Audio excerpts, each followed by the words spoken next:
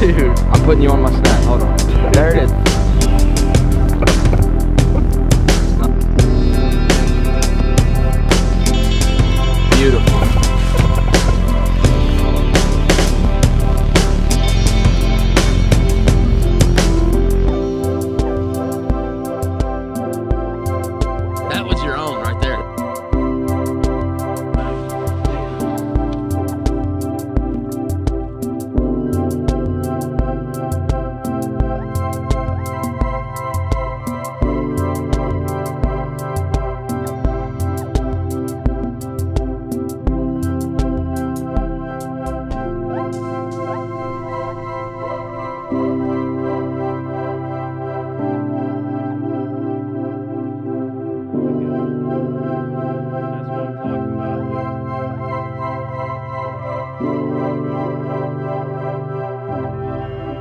Looked in the mirror this morning and asked myself, if today was the last day of my life, what I want to do what I'm about to do today.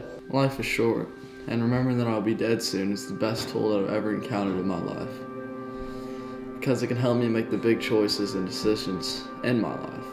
I am Luke Toothaker. I am the big dog. I am ah! the Meister. You, me, or nobody is gonna hit as hard as life. But it ain't about how hard you hit. It's about how hard you can get hit and keep moving forward. How